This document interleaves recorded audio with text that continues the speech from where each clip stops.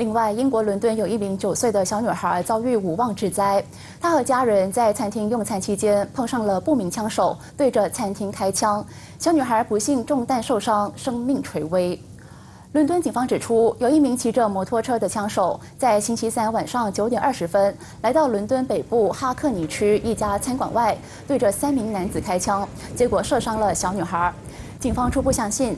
枪手和小女孩的一家互不相识，只是误中副狙。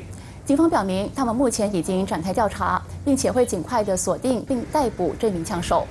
至于三名二十六到四十二岁的男子受伤入院，其中一个人的伤势可能会影响到日常生活。警方随后在事发地点附近找到了枪手丢弃的摩托车。